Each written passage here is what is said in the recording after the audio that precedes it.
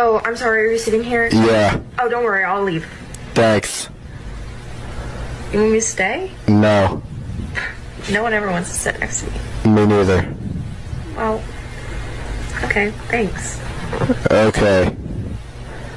Yeah, I think we do have the same math class. I don't think we do. Mr. Robinson? Nope. I know, right? He has the weirdest hair. I've never seen that man in my life. oh, What's on your wrist? what's on my wrist? Yeah. Oh, it's a friendship bracelet. For who? There's the other friend. Yeah. Uh, I, I don't have one. I made two, but like, they're for my future friend. I know, pathetic. That's pathetic. When out sometime?